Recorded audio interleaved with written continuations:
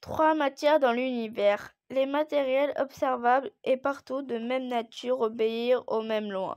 Exemple, les atomes d'hydrogène sont identiques sur Terre et sur Saturne.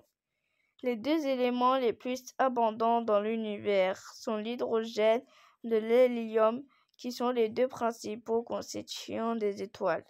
À la main d'une étoile, les éléments et constitués sont dispersés dans l'univers et font de nébuleuses qui donneront naissance de nouveaux systèmes.